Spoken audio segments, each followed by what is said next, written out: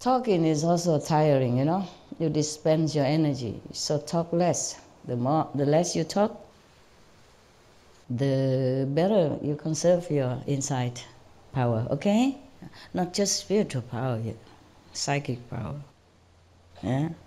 Psychic power, including hearing power, seeing power, knowing power. Yeah, some of you develop more, some less. Because talk too much, everything goes out. Understand? Yeah.